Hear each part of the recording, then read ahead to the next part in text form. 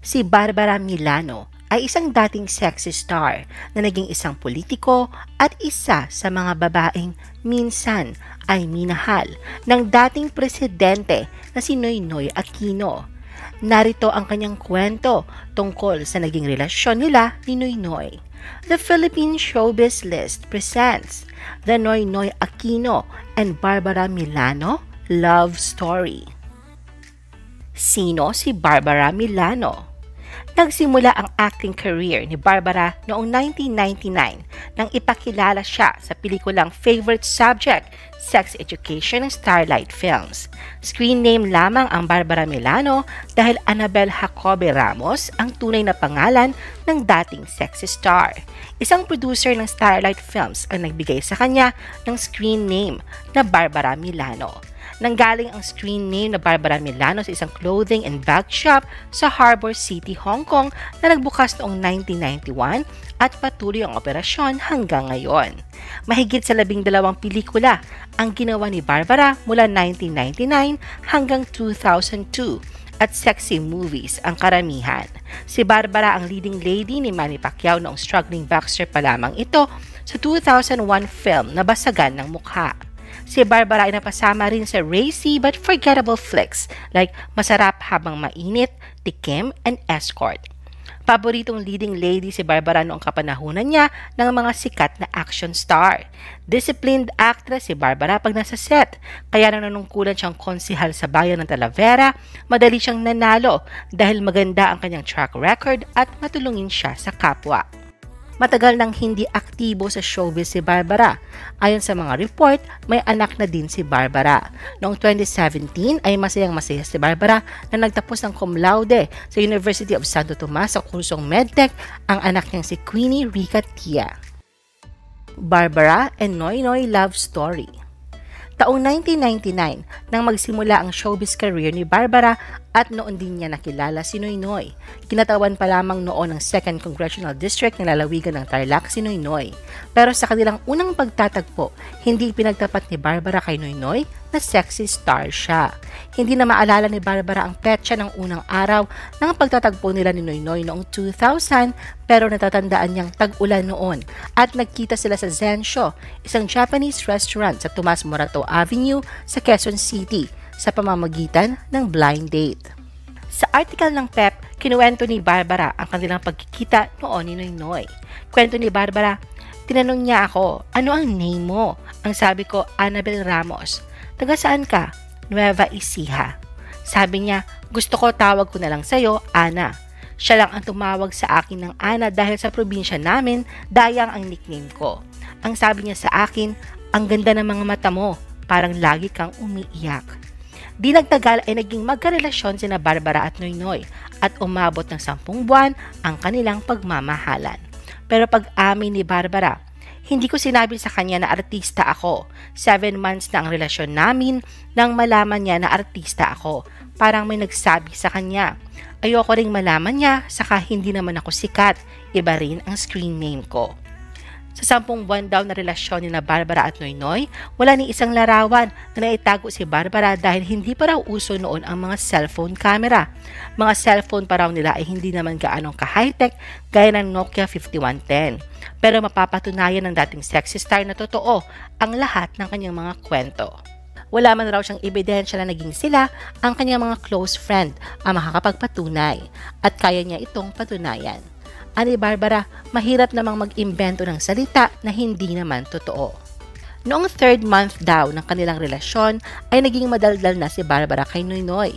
Naging matanong siya at feel at home na siya dito. Two times a week minsan every other day daw ang pagkikita nila.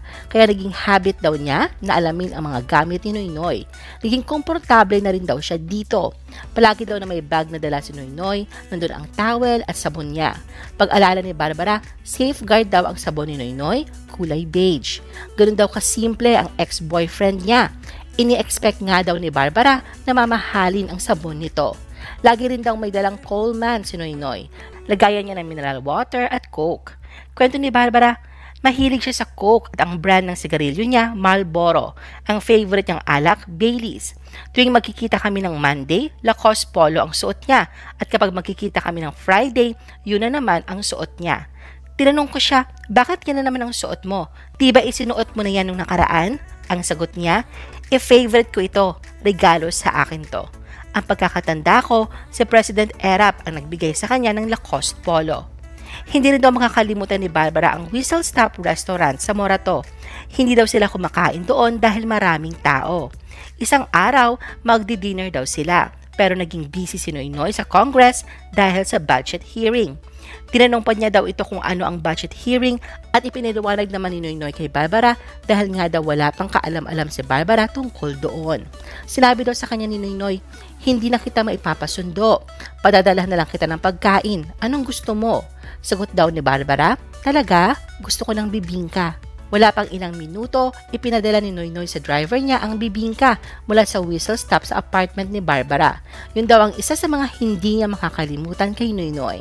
Pinagtuunan din daw siya ng time ni Noynoy. Ipagdadrive daw siya nito habang nasa backseat ang bodyguard niya. Tinanong daw ni Barbara si Noy, bakit ikaw magda-drive? Sagot daw nito, gusto ko ipag-drive kita, upo ka na sa harap, ako ang maghahatid sa iyo. Binigyan din daw ni Noynoy ng cross pen si Barbara. Nasa kay Barbara pa daw yung box pero yung cross ay nawaglit na. Hindi daw alam noon ni Barbara na mamahalin daw yon. Nang tinanong siya kung naramdaman niyang minahal siya noon ni Noynoy, sagot ni Barbara na pinagtuunan siya ni Noynoy ng oras. Kinakausap siya hanggang umaga. Babes ang tawagan nila noon at nag-I love you siya pero hindi madalas. Wala raw formal breakup, naglaho na lang. Hindi na niya ito matawagan.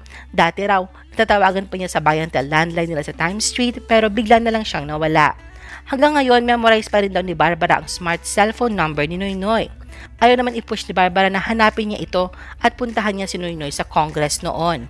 Hindi rin raw niya naisip na nag-ghost siya noon ni Noynoy dahil ang nasa isip niya noon ay naging busy lang si Noynoy. Nang si Barbara ay na-interview ni Chris Aquino sa The Buzz noong 2002, siya at si Noynoy ay hindi na magkarelasyon. Sa isang archive online forum thread, isang user ang nakapanood sa interview at reveal na ayon kay Barbara, siya at si Noynoy ay magkarelasyon around noong 2000 elections. Sinabi pa raw nito na naghiwalay sila noong mid-2001. Ayon sa mga sabi-sabi, may mga espekulasyon na ang pamilya ni Noynoy didn't really see her as a suitable partner para kay Noynoy. Ngunit ayon kay Chris, diniklara niya sa national TV na gusto niya si Barbara. Ang story ni Barbara ay dinamatay sa magpakailanman ng GMA7 noong 2004. Dito ay may karakter na very obvious na si Noynoy, ngunit binago nila ang pangalan na Don Don para na rin siguro sa kanyang privacy. Ginampanan ito ni Ricardo Cepeda habang si Barbara naman ay ginampanan ni Catherine Luna. Ipinakita sa naturang episode na maalalahanin ang ugali ni Don Don pero may commitment issue siya kaya hindi nagtatagal ang relasyon niya sa kanyang mga dating kasintahan. False rumors. Itinuwid ni Barbara ang mga walang katotohanang haka-haka na hindi nagtagal ang relasyon nila ni Noynoy dahil tutol sa kanya ang pamilya Aquino. Maling-mali ang akala ng karamihan dahil hindi pinakilala ni Noynoy si Barbara sa kanyang ina at mga kapatid. Wala naman raw narinig si Barbara kay Noynoy na ayaw sa kanya ng pamilya nito. Hindi naman raw siya ipinakilala sa kanyang pamilya. Ngunit, ipinakilala ni Noynoy si Barbara sa close friends niya kawalan ng komunikasyon ang sinabi niyang ugat ng kanilang paghihiwalay dahil naging abala na si Noynoy sa kongreso, samantalang nagkasunod-sunod ang movie projects at out-of-town shows ni Barbara. Nang komandidato si Noynoy bilang Pangulo noong May 2010, ibinoto siya ni Barbara at sinubaybayan nito ang kanyang pamumuno. Pero hindi na naglakas loob ang dalaga na magkaroon ng komunikasyon sa dating karelasyon. Three years ago, nagpang-abot ang dalawa sa isang Japanese restaurant sa Mega Mall. Pero hindi nilapitan ni Barbara si Noynoy dahil lang ibabaw ang kanyang hiya. Ipinagmalaki ni Barbara na malaki ang naging impluensya sa kanya nang yumaong si former Philippine President Noynoy Aquino kaya nagdesisyon siyang pumasok din sa politika. Sa kanyang interview, sinabi ni Barbara na, Correct, 101% may impluensya ni Noynoy ang pagiging public servant ko. Pagluluksa Ayon sa report ng PEP, tanghaling tapat ng June 24, 2021 nang makarating sa former sexy star na si Barbara Milano ang balita tungkol sa pagpanaw ni former Philippine President Benigno Simeon Noynoy Aquino.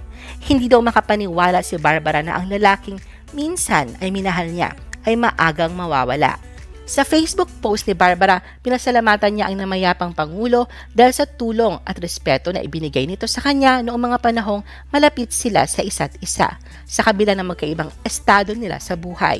Sa kanyang post, nagpasalamat si Barbara sa tulong at respeto ng former president. Dagdag pa niya na sino ba naman siya noon na hindi naman sila magka-estado sa buhay. Sino ba naman siya noon na napaka-ordinaryo niyang tao. Sino ba naman siya noon na hindi naman siya mayaman. Si Noynoy daw ang tao na nakilala niya na napaka-low profile talaga. Siya raw yung tao nakilala niya na napaka-simple. Si Noynoy na parang hindi daw dating presidente na kapag aalis, isa lang ang bodyguard na minsan siya pa driver. Si Noynoy rin raw na kahit dis oras ng gabi, magpadala ng pagkain sa bahay niya sa Tomas Morato. Na umaga about politics ang usapan nila, na yung tao na iniisip ang mga constituents kesa sa sarili niya. Ayon rin sa post ni Barbara sa Facebook na lihim niyang iniyakan ang pagkawala ni Noynoy dahil ayaw niyang makita ng anak at ng magulang niya na umiiyak siya. Na-recall raw ang lahat ng mga nangyari sa kanila noon. Masakit daw.